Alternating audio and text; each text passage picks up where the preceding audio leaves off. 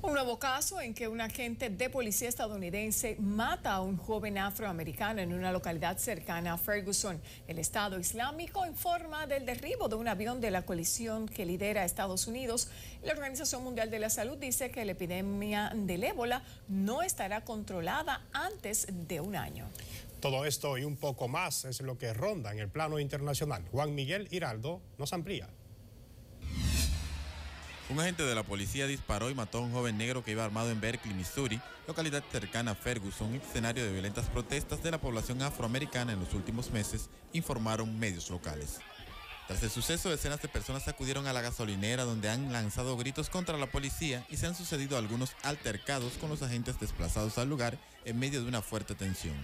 El cadáver del joven permaneció más de dos horas en el suelo del aparcamiento de la gasolinera ante la indignación de los asistentes, según un diario, que ha identificado al joven muerto como Antonio Martín de 18 años.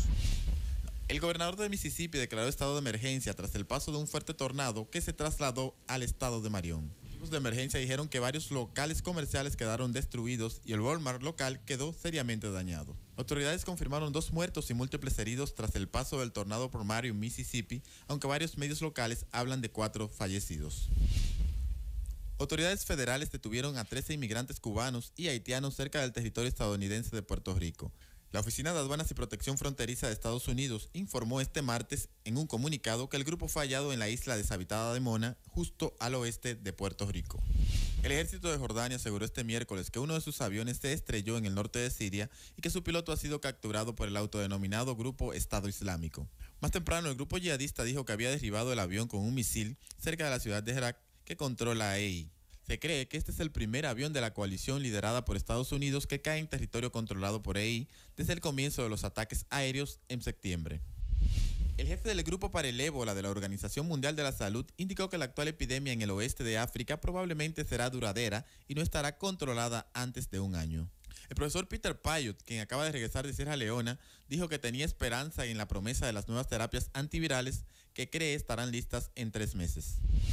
El expresidente de Estados Unidos, George Bush padre, fue trasladado a un hospital en Houston, Texas, tras sufrir un cuadro de deficiencia respiratoria.